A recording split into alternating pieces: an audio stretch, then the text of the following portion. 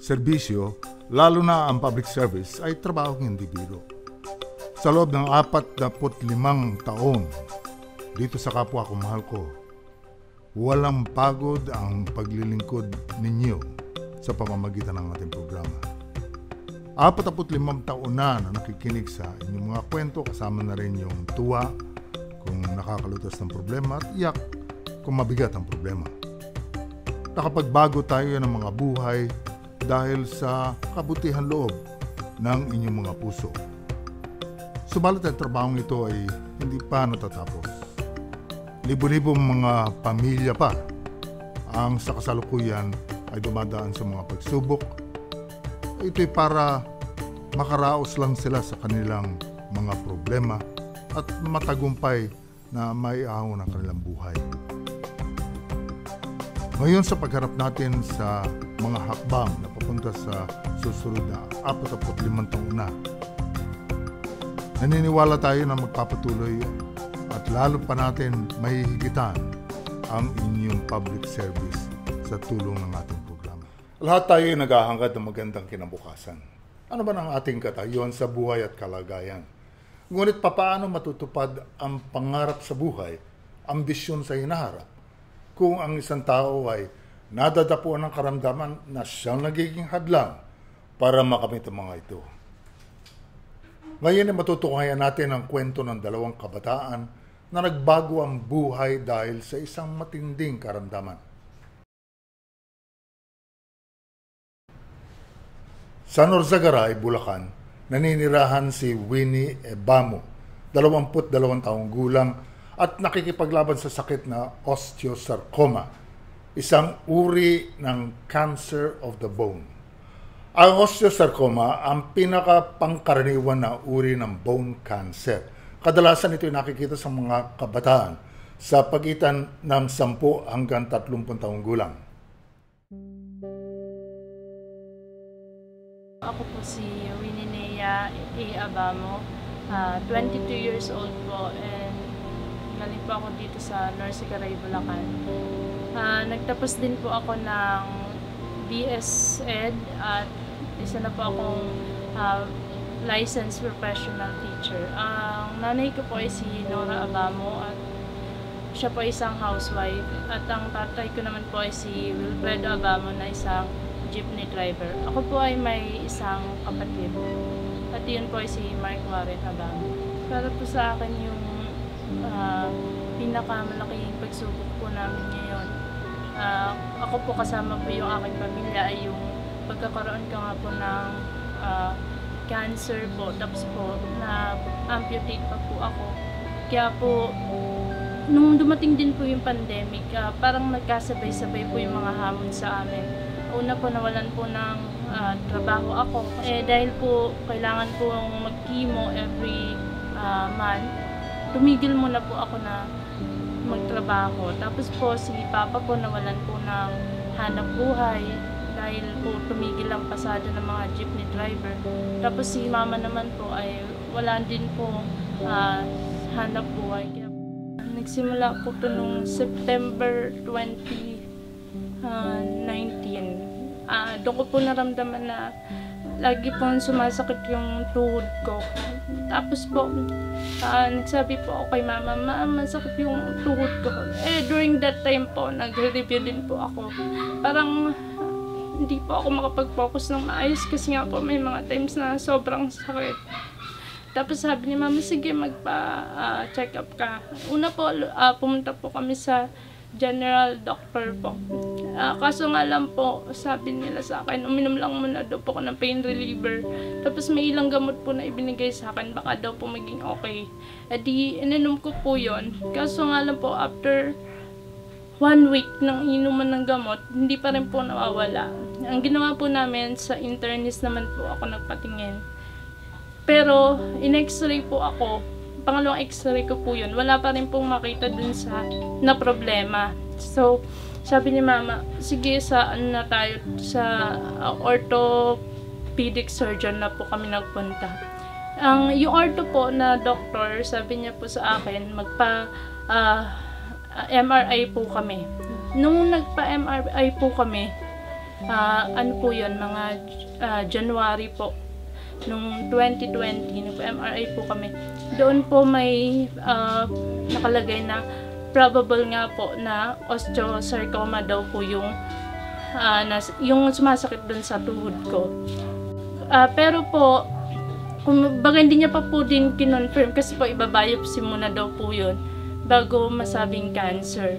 Kaya po nung March 6 po, 2020, ah, nung lumabas na po yung resulta ng biopsy, sa ano po kami, Philippine Orthopedic po kami nagpa-biopsy. Doon po namin nalaman na ano nga po pala, cancer po siya na sa buto po. Tapos po sabi po ng doktor ko, ah, kailangan ko daw po mag-undergo ng chemotherapy, ng six cycle chemotherapy. Tapos po, ah, saka pa lang daw po malalaman kung ano yung gagawin dun sa, ah, dun sa bukol na nasa tuhod ko po. After six cycle po, sinabi po sa amin ng doktor na may mga choices naman po. Sabi nila, pwede naman daw po ah, lagyan ng bakal, ganito, ganyan, hindi po tuloy. Pero ah, hindi daw po nila maipapangako na ah, magiging okay daw po ng sa mga susunod na taon yon. Kaya po sabi nila, yung pinaka best option daw po ay tanggalin na lang daw po yon para po hindi na bumalik saka hindi na hindi na daw po ulit maramdaman yung sakit na naramdaman ko noon. Sa ngayon po, ang kailangan ko pong para po sa continuous na paggagamutan ko ay yung syempre po una po yung artificial leg ko po. Kasi gusto ko po uling makalakad uli ng normal. Isa pa po ay yung ah, CT scan ko every 3 months po. Para po ma-check kung ah, cleared po ba yung ah, baga ko at walang cancer cells pangarap ko po sa pam, ah, sarili ko, syempre po yung makapagtrabaho po. Tapos po, makapa, maibalik ko po yung mga ah, mga tulong na naibigay sa akin. Kumaga po makatulong din po ako sa ibang tao. Tapos po, sa family ko syempre, unang-una po yung matulungan ko sila, maibalik ko po yung pagod at hirap nila sa mga sakripisyo po nila sa akin. Naisip ko po, kailangan po magpatuloy sa buhay. Kahit na po may mga pagkakataon na ah, na didiscriminate. Tapos po, kailangan po kahit po wala na po akong isang pa, mabuhay ako kasi may, yung pagkakataon po na ibinibigay sa akin ng Lord, ah, dapat magamit ko po on purpose po. kapag po mas ma- mabilis ako na mabibigyan ng artificial leg, ah, mas mabilis na babalik ako sa normal kong paglalakad, pagkilos. Tapos po, yung CT scan naman po, dahil every 3 months naman po, ah, every 3 months naman po yun, kumbaga po, ah, hindi naman din po agad-agad na kailangan din po yun. Mas kailangan po talaga yung artificial leg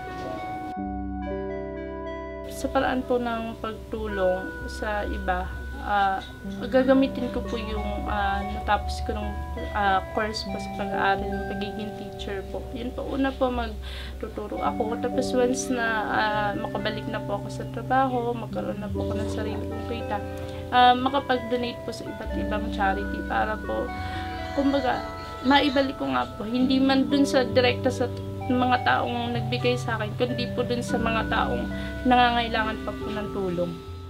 Sa mga nais tumulong kay Winnie Nea Abamo, maaari kayong mag-donate sa pamamagitan ng bank account natin, online, GCash, at Shopee.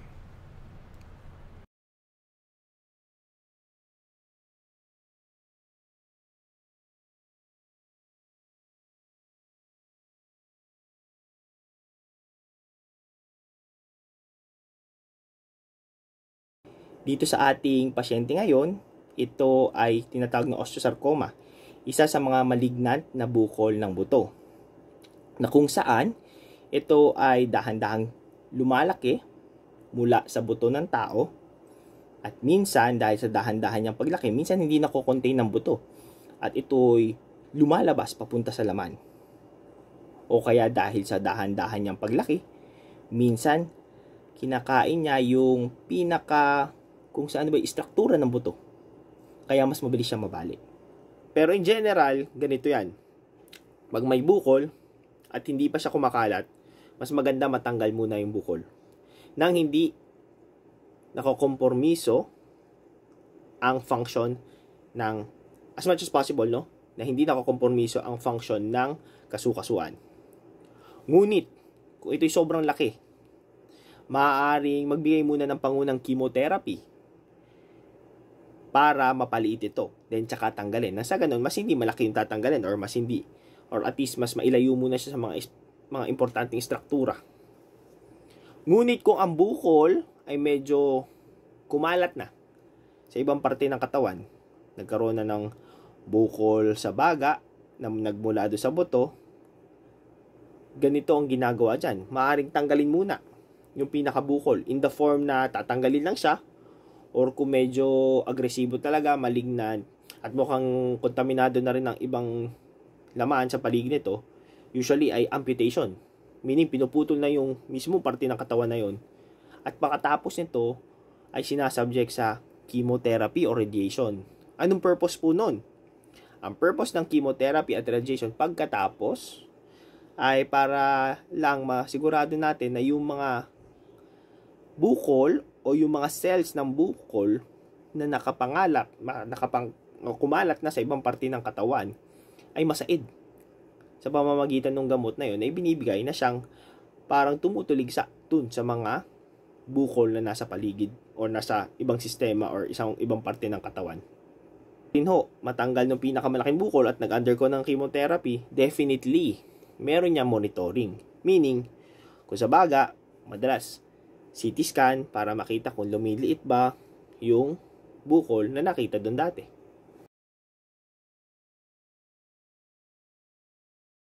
Samantala sa Rodriguez Rizal, naninirahan si Mark Jim. Sa edad na siyam na taong gulang, siya ay na-diagnose na mayroong congenital severe hypospadia. Ito ay isang depekto sa kapanganakan ng isang lalaki kung saan hindi nagbubukas yung daanan ng ihi mula urethra padahan sa labas ng katawan. Ito ay nagdadala ng ihi sa pantog at uh, ito ay lumalabas sa kanyang ari. Dapat hindi matagpuan ito ngayon sa ari ng lalaking ito. Gandang araw po. Ako po si Ana Margarita Aranda na nakatira sa Montalban, Rizal at meron po akong apat na anak. Ang pangalan po ng aking asawa ay si Mark po. Ang panganay ko pong anak ay si, kung tawagin ay Mark Andrew. Sumunod po ay si Mark Gian.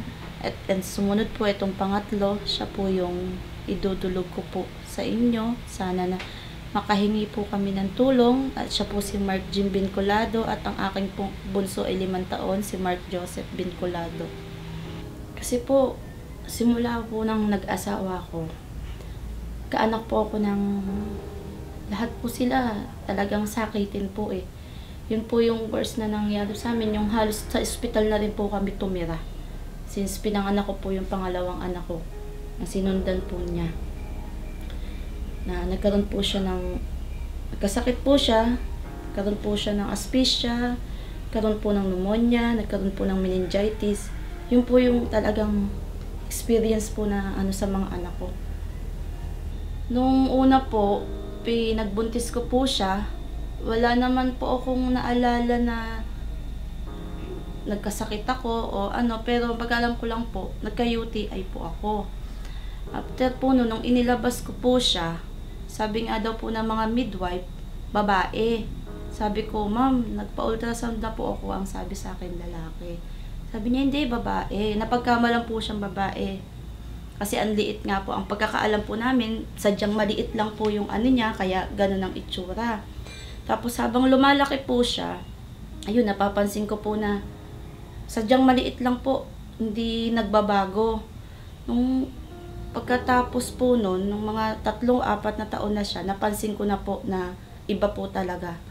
Hindi po siya humihiwalay sa pagkakaano. Para po siyang nakadikit. Nakadikit po siya Tapos nung kalaunan po, nagpa-check up kami sa doktor. Sabi ko nga na ganun, bakit? Sa, ang sagot naman po, nakakaihi. Sabi ko, opo, okay naman daw po kasi nakakaihi ang bata. Pero nung tumagal po, naging pitong taon na siya, doon na po namin nakita na iba. Lumiit po yung butas ng wiwi niya, tapos nagkaroon po ng butas sa baba. Nagkaroon po siya ng tinatawag na glomerulitis kasi sometimes po umihi siya ng dugo. Tapos na high blood po siya kaya na yun po na i-confine namin siya sa ospital hanggang sa nagdire-diretso na po pinatingnan ko na po talaga siya na nasabi pong meron daw po siyang tinatawag na severe cordy penoscrotal hypospadias ni-recommend po agad kami eh sinabi po agad sa amin ng doktor na kailangan na daw po niyang operahan kasi nga daw po uh, yung wiwi po niya eh bumabalik sa loob ng kidney niya, hindi na ilalabas lahat. Sinabi po ng doktor, pagpunta po namin sa ospital, na kailangan na po daw niya agad na maoperahan. Kaya na-schedule po agad kami ng operasyon. Uh, January 29 po ang admission at February 4 po ang operasyon. So, nagsasabi po ang doktor talaga sa akin na kailangan na daw po talaga niya kasing operahan dahil baka magkaroon daw po ng ano ang kidney niya kasi nga po bumabalik po yung ihi niya sa loob. Hindi po na ilalabas lahat. Maaari daw po kasing masira yung bato ng bata kapag pinatagal pa daw po.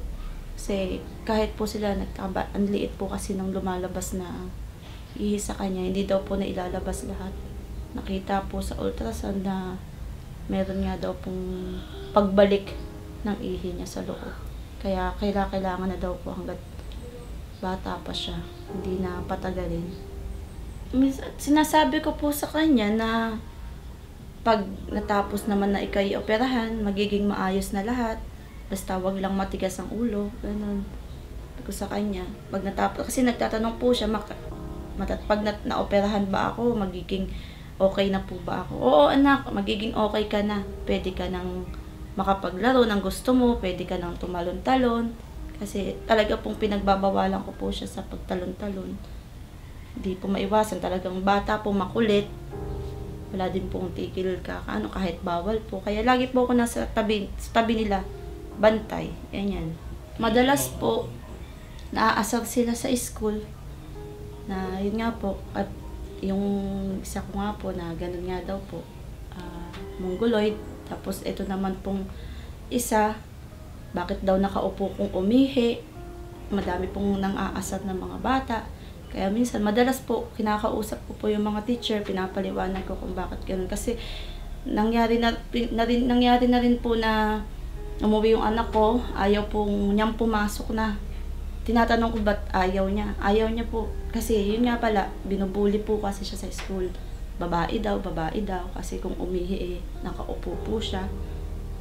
Yun po. Kaya madalas po, kinakausap ko po yung teacher kasi nakakaranas po yung anak kong ayaw niya pong pumasok na. Kaya, nag-iisip din po ako kung paano. Bilang po, bilang isang magulang po, nangangarap ako sa mga anak ko.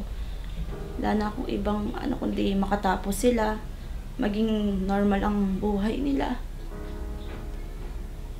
as magulang po, yun lang po ang hiling ko sa kanila, yung maging normal yung takbo ng buhay nila, lalo na po itong anak ko ngayon na nakakaranas ng hypospadias na tinatawag.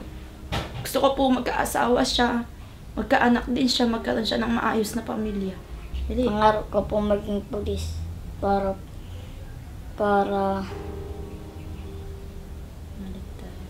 Altos ang nangangailangan. Nagdadasal ko po na sana maging maayos lahat, maging successful ang operasyon niya at maging maging maayos po lahat kinabukasan niya para sa kanya. Yun po yung gusto ko po sana. Para sa kapwa ko mahal ko, maraming maraming salamat po at sa unang pagtawag ko pa lang, agad-agad po kayong tumugon sa amin Maraming maraming salamat po talaga at sana po marami pa po kayong matulungan na katulad namin na nangangailangan. Maraming salamat po kapwa ko mahal ko. Sa mga nais tumulong kay Mark Jean, maaari kayong mag-donate sa pamamagitan ng ating bank account, pwede kayong mag-donate online, Pwede rin kayo mag-donate GCash ang gamitin ninyo at Shopee.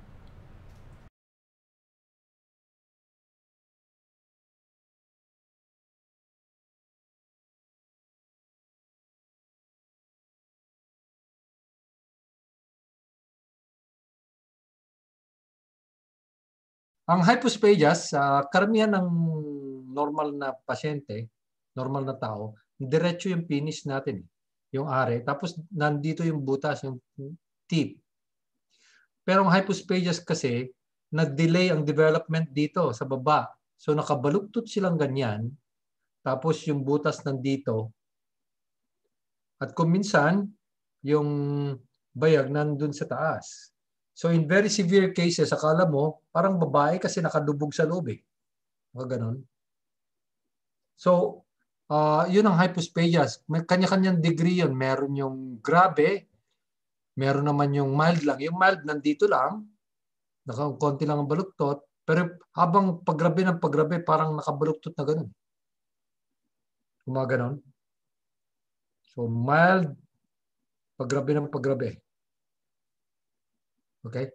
So, yun ang hypospadias. Marami yan. Uh, ang statistics natin sa Pilipinas isa sa tatlong daan na pinapanganak. So, marami po kami nakikitang ganyan.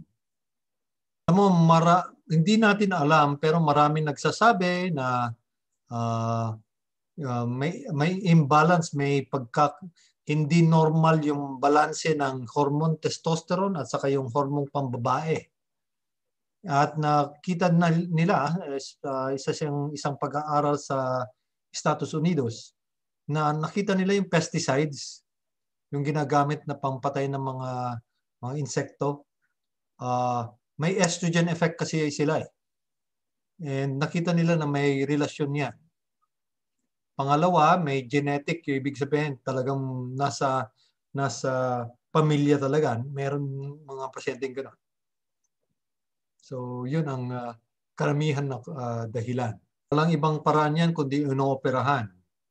Uh, ang ginagawa namin, kung uh, sabihin na natin baluktot, sobra ng baluktot na gano'n, ang unang ginagawa namin, binabalatan namin yan eh. Pag nakabaluktot pa rin gano'n, i-straighten muna namin. Maraming cuts kaming ganyan. Siyempre, yung butas nandito pa rin, naiwan pa rin doon sa baba.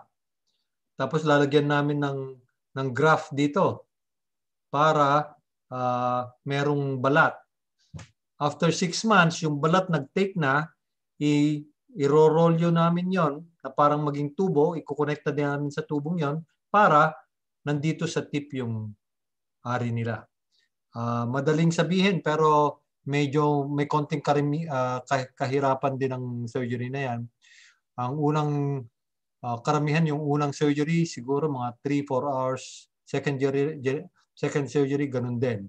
Pero yung mga mild lang yung mga mga minor lang isang surgery lang yan kasi madaling gumawa ng tubo doon eh. Pero yung mga mahirap yung mga nandito yung mga severe cases uh, mas maraming sa Pilipino Pilipino ang mga severe cases eh. Itong dalawang kwentong ito ay nagpapatunay na higit na matimbang ang pangarap kung iahambing sa mga pagsubok. Ang pangarap at bisyon pwede nating gawing kalasagyan sa ating paglaban. Ito ang ating pagkukunan ng lakas ng loob para magpatuloy na makabit natin ang ginhawa. Basta patuloy lang tayong mangarap sa ating sarili, para sa ating mga anak, at para sa ating pamilya. Ito po si Orle Mercado nagsasabing, ituloy niyo ang suporta sa ating programang pang-public service mula noon hanggang ngayon. Kapwa ko, mahal ko. SM, through the example of its founder, Henry C. Sr., recognizes that business growth and social development go hand in hand. SM focuses its social development initiatives and integrates its philanthropic thrusts with an eye towards United Nations Sustainable Development Goals, focusing on the following areas. Education, medical assistance, community relief operations, sustainable agriculture, micro, small, medium enterprise promotion, social inclusion, disaster resilience, environmental responsibility. A significant proportion of Filipinos live below the poverty line, with the incidence of poverty in the Philippines higher than most of its Southeast Asian peers. This means the private sector helps to augment the delivery of basic social services,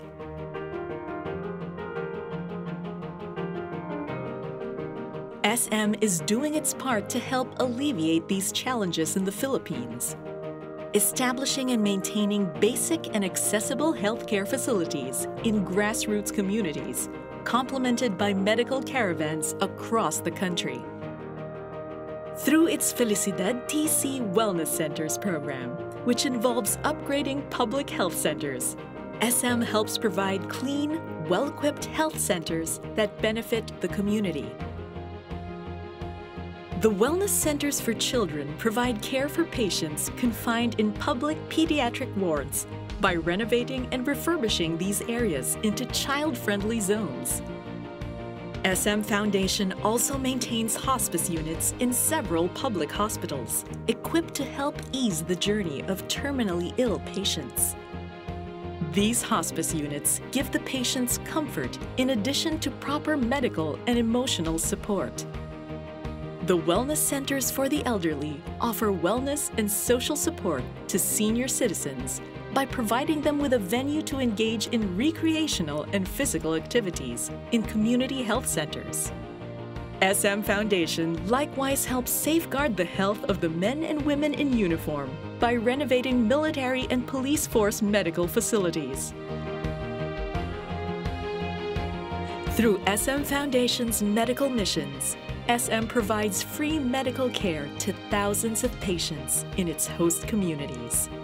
SM's social development programs aim to bring about meaningful change to the people and the communities served every day.